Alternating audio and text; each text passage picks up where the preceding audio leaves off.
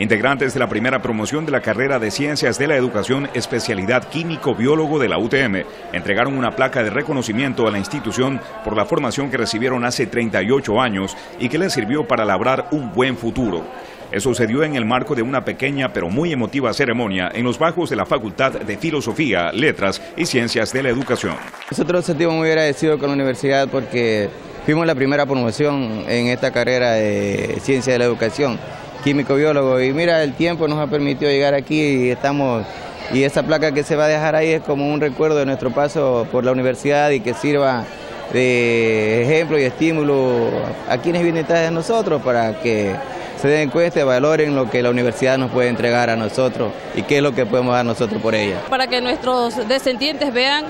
que nosotros estamos agradeciendo a la facultad y que todo lo que ellos pueden ser y son en el futuro se debe a las sabias enseñanzas de esta institución. En este momento estamos la mayoría ya jubilados, pero nos sirvió para vivir, para enrumbar nuestros caminos y nuestros descendientes. Para las autoridades de la facultad, este gesto es muy significativo, pues grafica no solo el agradecimiento de quienes lograron su título profesional en estas aulas universitarias, sino ese vínculo que la UTM crea con sus alumnos y que no desaparece sin importar cuántos años transcurran. Nunca es tarde para reconocer lo que hizo una universidad técnica de Manaví por ellos y por ende que se fue a reflejar en nuestras generaciones que fueron educadas por ellos. Es un reconocimiento que no le hacen a las autoridades, le hacen a la universidad, por ende a la facultad y específicamente a lo que es la carrera de química y biología.